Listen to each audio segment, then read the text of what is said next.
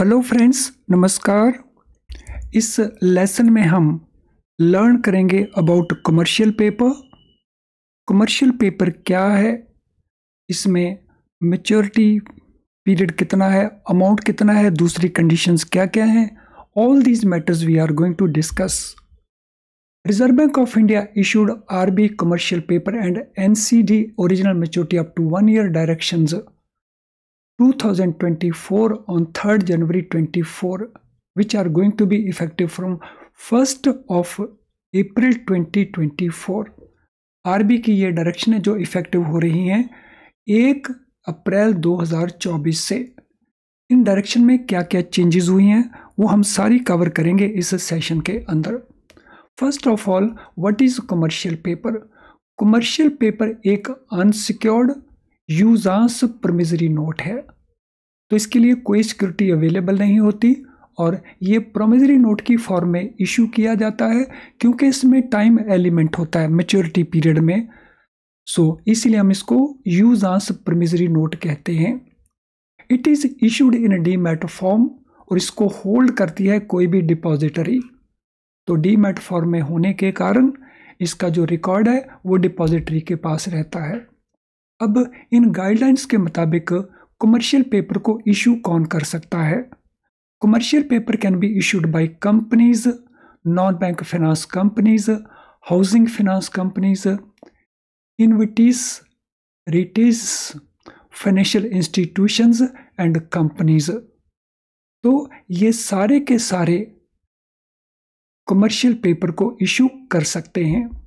इसके अलावा कोई भी दूसरा बॉडी कॉरपोरेट या कोऑपरेटिव सोसाइटीज़ या लिमिटेड लाइबिलिटी पार्टनर्स तो ये भी कमर्शियल पेपर इशू कर सकते हैं प्रोवाइडेड इनका जो नेटवर्थ है, वो मिनिमम 100 करोड़ होना चाहिए। इस ग्रुप के लिए companies N B F C H F Cs financial institution and these इनके लिए मिनिमम नेटवर्थ का कंडीशन नहीं है। लेकिन इन तीनों के लिए any other body corporate, cooperative society or llps so they need minimum net worth of rupees 100 crore जब प्राइमरी इशू होगा तो primary issue within T plus four working days में कंप्लीट हो जाना चाहिए। यानी जिस दिन ये इशू ओपन हुआ, उसके प्लस फोर डेज़ के बीच में इसका सब्सक्रिप्शन पूरा हो जाना चाहिए। जो सेटलमेंट है सेकेंडरी ट्रेड्स का तो जब इसको सब्सिक्वेंटली इशू के बाद सेल परचेज किया जाएगा, जिसको हम कहते हैं सेकेंडरी ट्रेड तो that settlement should be completed on T zero basis और टी प्लस वन बेसिस और इसमें यूज़ किया जाएगा डिलीवरी वर्सेस पेमेंट सिस्टम तो एक होता है डिलीवरी वर्सेस डिलीवरी सिस्टम एक होता है डिलीवरी वर्सेस पेमेंट सिस्टम तो इसमें डिलीवरी वर्सेस पेमेंट सिस्टम को यूज़ किया जाएगा. अब कमर्शियल पेपर के जो फंड्स हैं तो उनको यूज़ कैसे करेंगे? So these will be use primarily to finance current assets and operating expenses यानी इसको फॉर लॉन्ग टर्म एसेट पर यूज़ नहीं किया जाएगा। तो जो शॉर्ट टर्म एसेट्स हैं करंट एसेट हैं, या ऑपरेटिंग एक्सपेंसेस हैं तो वर्चुअली हम कह सकते हैं, इसको वर्किंग कैपिटल पर्पज़ के लिए यूज़ किया जाएगा।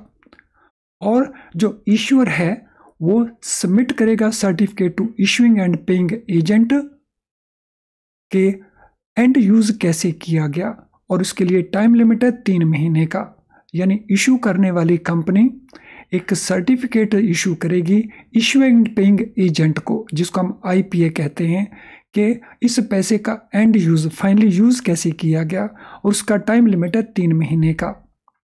कंडीशंस क्या है? एलिजिबिलिटी के लिए। So fund based credit facility should be standard category अगर कंपनी को एनबीएफसी को एचएफसी को, इनको फंड बेस्ड कोई फैसिलिटी सेंक्शन की गई है तो वो स्टैंडर्ड कैटेगरी में होनी चाहिए, यानी वो एनपीए नहीं होना चाहिए। Second condition minimum credit rating it must be at least A three और वो भी किसी सेबी अप्रूव्ड रेटिंग एजेंसी से। So this are two important conditions to be eligible for issuing commercial paper.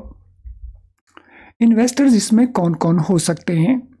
Investors में इंडिविजुअल्स हो सकते हैं इंडिविजुअल्स के अंदर नॉन रेजिडेंट्स भी हो सकते हैं, लेकिन माइनर्स नहीं हो सकते। इन एडिशन कॉरपोरेशन हो सकती हैं कंपनीज़ हो सकते हैं ट्रस्ट हो सकते हैं फंड हो सकते हैं एसोसिएशन हो सकते हैं, और इवन बैंक्स भी हो सकते हैं। इन्वेस्टमेंट अगर इंडिविजुअल्स करते हैं और HUF करते हैं तो इनके ऊपर रिस्ट्रिक्शन है।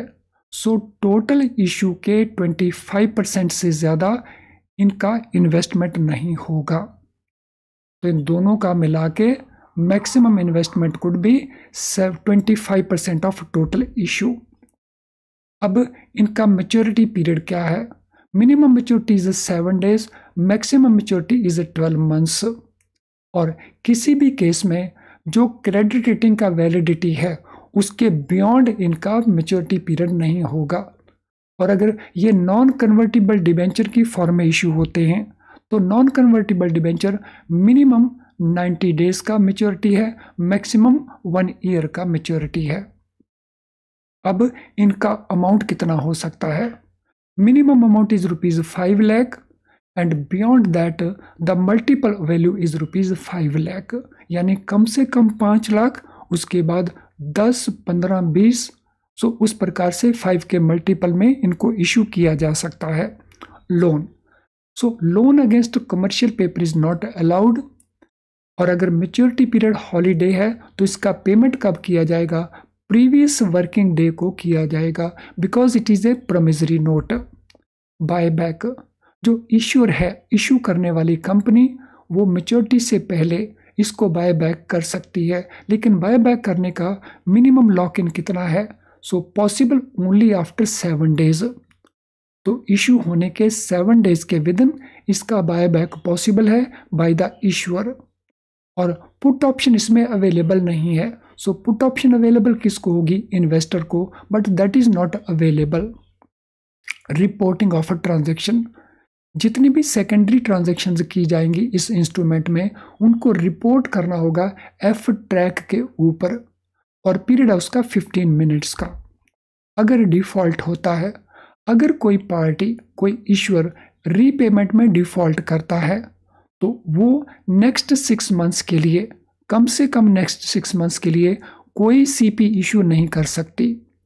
और इनका लिस्टिंग स्टॉक एक्सचेंज के ऊपर पॉसिबल है, सो एनएससी हो या बीएससी सेबी के डायरेक्टिव्स हैं, उन डायरेक्टिव्स को फॉलो करना है, and listing is very much possible. तो ये रहा हमारा commercial paper. Thank you friends, and all the very best.